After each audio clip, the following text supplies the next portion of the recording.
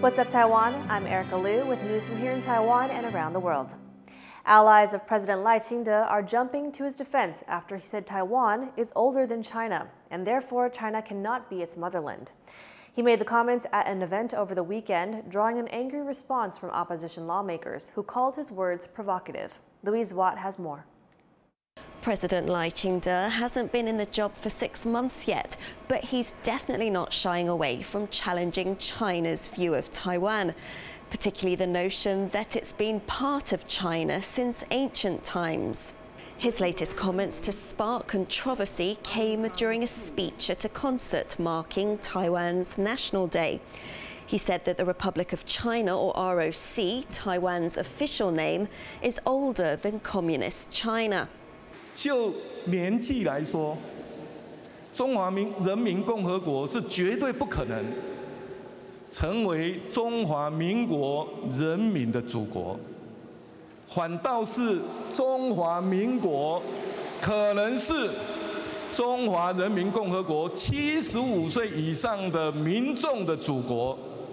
Such comments have been criticized by opposition lawmakers who say they're provocative to China which sees Taiwan as its territory and could one day invade. But lawmakers from Lai's ruling party have defended him, saying he's simply using basic facts and logic to prove that the Republic of China Taiwan is separate from Beijing. Ryan Wu and Louise Watt for Taiwan Plus. For more analysis on Lai's speech, our reporter Tiffany Wong spoke to Chong Ja Ian, a political scientist at the National University of Singapore. Could you tell me first where are Lai's comments coming from, and are they in line with previous president's statements?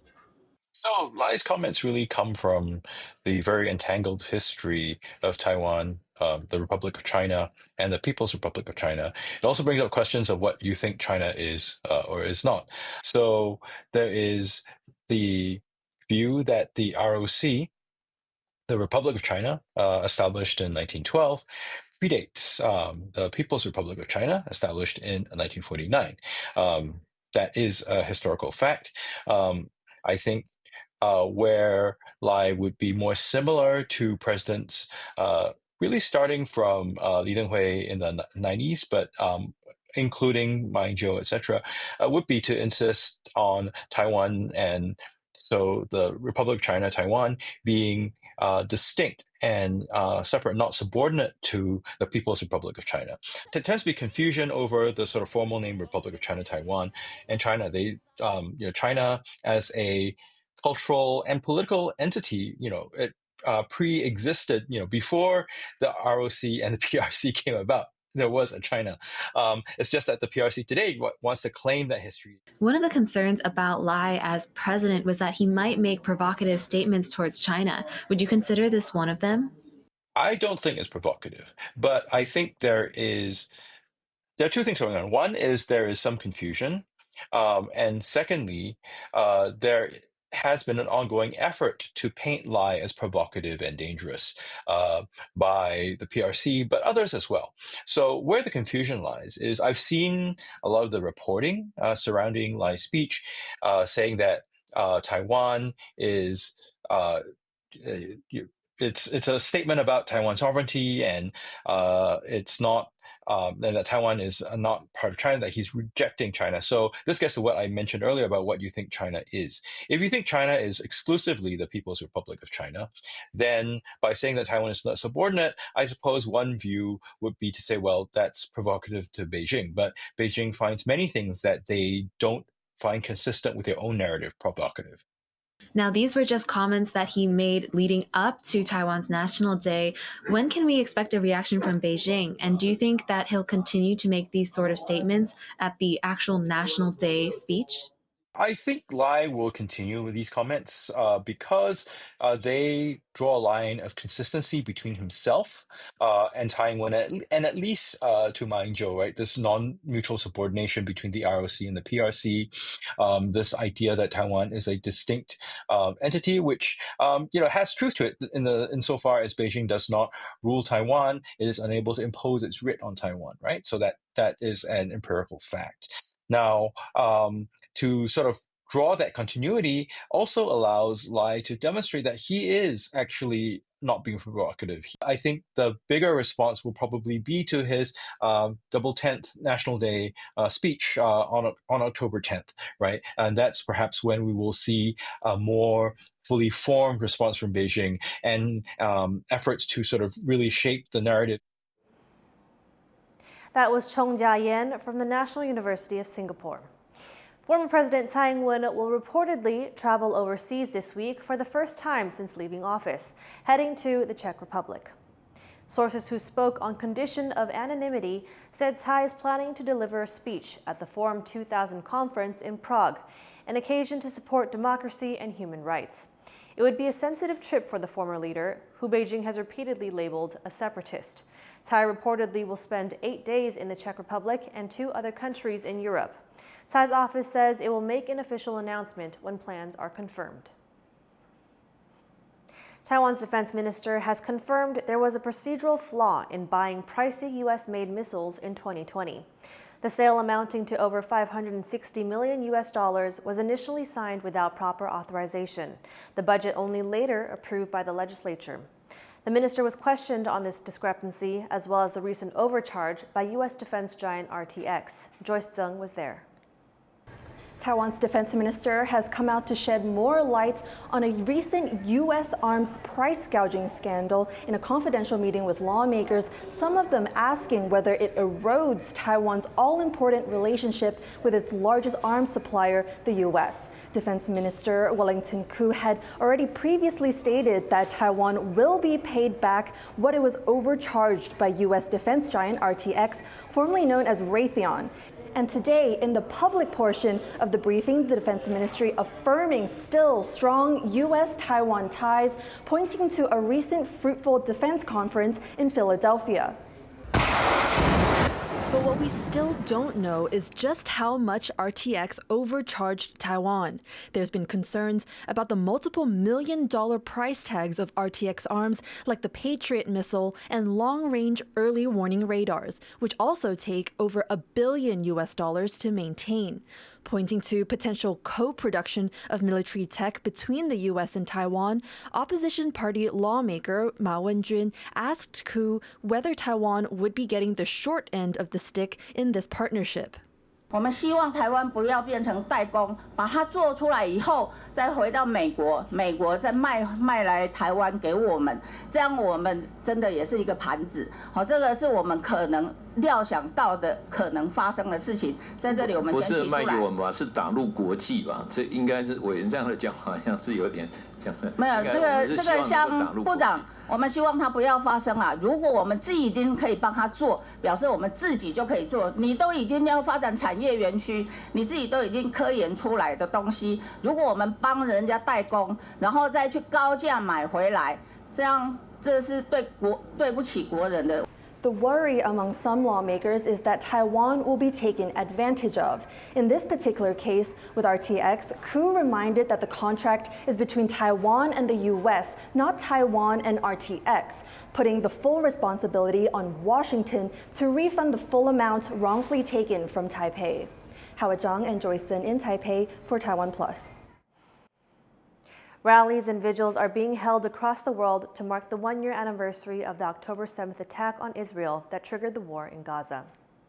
From Tel Aviv and London to Paris and Berlin, thousands have gathered to remember the victims of the Hamas attack that left more than a thousand dead and hundreds of others taken hostage. In Jerusalem, there were renewed calls for Israel's government to negotiate the release of the remaining hostages. The day has also been marked with multiple pro Palestinian rallies. The conflict has killed nearly 42,000 people in Gaza and displaced nearly all of the 2.3 million people there. Here in Taipei, rallies and vigils have also been held, with some calling on Taiwan's government to stop sales of arms components to Israel and the U.S. 12 months on, the war between Israel and Hamas has only escalated, and fears are mounting of a wider conflict in the Middle East. Harel Hughes reports. One year after October 7th, Kibbutz Nir Oz in southern Israel remains empty and in ruins. It was one of the first targets of Hamas militants when they crossed the border from Gaza, killing over 1,000 people and taking 250 hostage. in Israel's deadliest day ever. Something broke inside of me on October 7th. I never believed this kind of cruelty and and violence can later be justified as as an act of freeing Palestine because I believed in freeing Palestine my entire life in two-state solution. Israel's retaliation was swift, launching attacks on Gaza that have killed an estimated 42,000 Palestinians within the past year, leaving the enclave devastated and sparking a humanitarian crisis. The United Nations estimates 40% of the deaths in Gaza were children, including five year old Sally, killed in an Israeli airstrike just days after October 7th.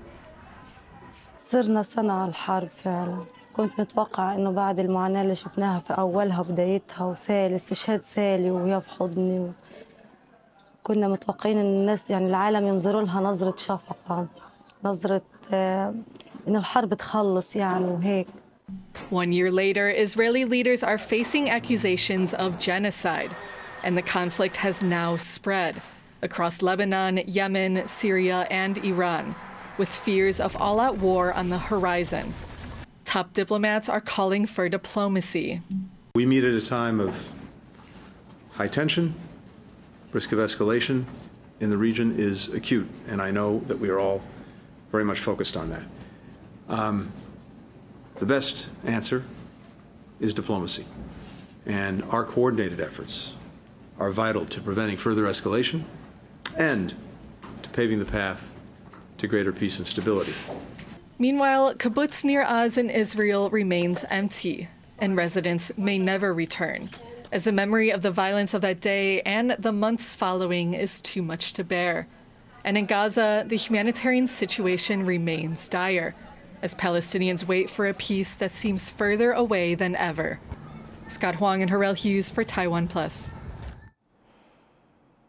Israel has carried out its heaviest night of bombardment in Beirut since the latest round of hostilities began. Israeli military officials say they struck Hezbollah intelligence and munitions storage facilities in the Lebanese capital. Authorities in Beirut say the strikes killed 23 people and wounded another 93.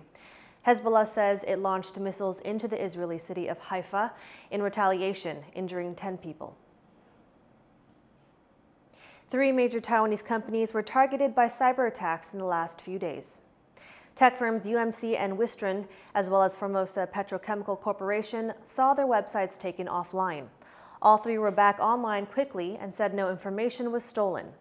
Taiwan's digital ministry last month said a pro Russian hacking group launched attacks against 45 entities in Taiwan, including government agencies and financial firms. In those cases, the damage was also minimal, and most of the entities targeted quickly went back online.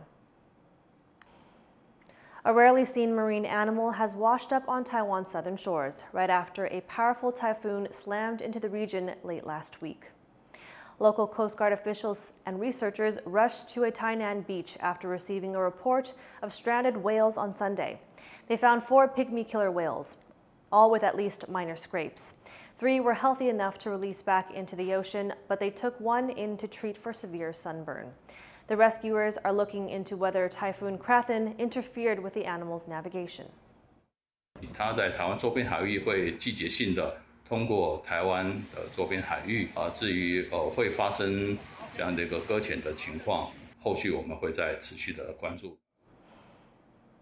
Pygmy killer whales are a type of dolphin. They resemble the much larger orca, also known as the killer whale. Thank you for watching What's Up Taiwan. You can visit the Taiwan Plus website or follow our social media for more stories from Taiwan and around the world. Finally, join us for this sample of Paul McCartney's Got Back tour in Argentina. I'm Erika Liu. Take care and see you next time.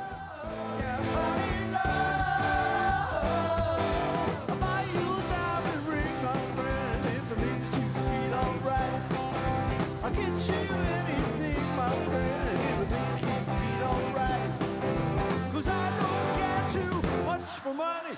Money, money.